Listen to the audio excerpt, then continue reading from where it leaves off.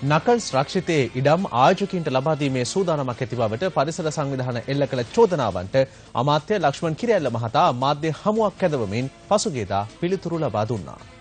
පෙන්වන්න කොහෙද අපි කරලා තියෙන්නේ? රක්ෂිතය තුල. සාධක සහිතව නෙවෙයි සාධක නැහැ මම වගකීමෙන් කියන්නේ. ඒගොල්ලෝ කියන්න ඕන මෙන්න මේ වත්තේ මෙන්න මේ කොටස දීලා තියෙනවා. මෙන්න මේ වත්තේ මෙන්න මේ කොටස දීලා තියෙනවා. මොනවද කියන්නේ අමාත්‍යවරයා එලෙස ප්‍රකාශ කර සිටියද එය අසත්‍යයක් බව දුම්බර මිටියාවතේ පිහිටි ඇල්කඩුව රජයේ වැවිලි සමාගමට අයත් රත්වත්ත වතුයායේ දැනටමත් ක්‍රියාත්මක වන තිරුවාන පාෂාණ කැනීමේ ව්‍යාපෘතිය පිළිබඳව අප සාක්ෂි සහිතව අනාවරණය කළා. නකල්ස් රක්ෂිතය ඇතුළත කිසිම යෝජනාවක් අපි අනුමත කළා. අනිත් එක අද මේ පුවත්පත් සාකච්ඡාවකට සුජීව චාමිකර මහත්තයාට අපි ආරාධනා කළා. ඒ වගේම අපි එතුමාට කිව්වා එන්න බැන්න නියෝජිතයෙක් හරියවන්න කියලා. කවුරුවත් ඇවිල්ලා නැහැ. දැන් එතුමා පැහැදිලිවම සඳහන් කරනවා අපිට මාධ්‍ය සාකච්ඡාවක් සඳහා ආරාධනා කරයි. ඊයේ ආරාධනය සිද්ධ කරනකොට වෙලාව මම හිතන්නේ 9යි 20ට විතර ඇති. ඒ වෙනකොට මම කිරුළපන පොලිසියේ සේවාස්ත පුහුණු පාඨමාලාව හදාන්න පොලිස් නිලධාරීන්ට දේශනයක් කර කර හිටියේ. එන්නේ ඒ අවස්ථාවේදී තමයි පළවෙනියෙන්ම මට කතා කරලා කිව්වේ ඊයේ දවසේ අපිට දැනුවත් කරන්න කියලා කිව්වා ඔබතුමාව මේ අද මාධ්‍ය සාකච්ඡාවට එන්න කියලා අමාත්‍යතුමන් එක්ක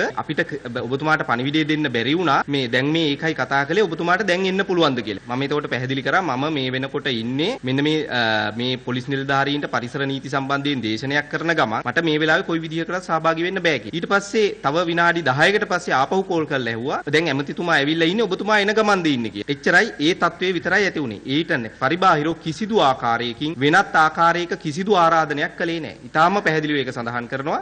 වතු වල තියෙන මේ පොටෙන්ෂල් එකත් එක්ක අපි ඇත්තටම පෞද්ගලිකකරණය කරන්න මේ තියෙන්නේ.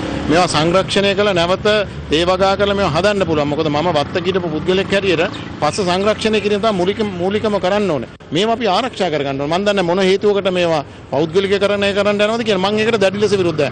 අමාත්‍යවරයාට අභියෝග කරනවා පුළුවන් නම් අපිත් එක්ක එන්න විවෘත සංවාදයකට ඕනෑම මාධ්‍ය ආයතනයක සජීවී සංවාදයකට පැමිණෙන්න. එතකොට අපි මේවා පියවරෙන් පියවර මේ ජනතාවට හෙළිදරව් කරන්නම් කොයි විදිහටද මොවුන් විසින් මේ දුම්බර අඩවියේ තියෙන ඉඩම් කොල්ල කෑමේ ක්‍රියාවලිය යෙදෙන්නේ කොයි ආකාරයකටද ඒ සඳහා නීති ප්‍රතිපත්ති වෙනස් කරන්නේ කොයි විදිහටද? ඒ සඳහා අවශ්‍ය කරන පසුබිම් පළවෙනි පියවරයන් මේ වන විට තබලා තියෙනවා. ඒව ක්‍රියාත්මක කරන්නේ කොහොමද? මේ හැම එකක්ම අපි ජනතාවට අවධාරණය කරන්න සූදානම්. මේ ලයිසන් එක දීලා තියෙන ඒ නිර්දේශයන් නිසිලෙස ක්‍රියාත්මක කරනවාද කියලා බලන්න වෙනත් ව්‍යුහයක අවශ්‍යතාවය තියෙන ඒ ව්‍යුහය ප්‍රජාව නියෝජනය කරන ඒ වගේ මේ තාක්ෂණික අංශ නියෝජනය කරන කණ්ඩායම් වලින් සැදුම්ලත් මේ කමිටුවක් බවට පත් වී යුතුයි. වර්තමානයේ වෙන විට මේ කණිජය ලබා ගැනීමේදී ඒ දීලා තියෙන නිර්දේශ උල්ලංඝනය වීමක් අපිට පේන්න තියෙනවා.